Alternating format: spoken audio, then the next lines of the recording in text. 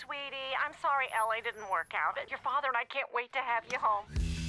So for four years, you hated it? Things got harder and harder, and I got poorer and poorer. You broke too? No, I just thought it'd be really fun to move back in with Gary and Janine.